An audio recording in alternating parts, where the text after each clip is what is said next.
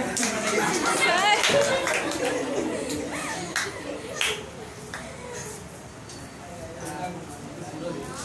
ठीक है अलग नहीं बचाया तो फिर क्या वापस करके लाऊंगा वापस कर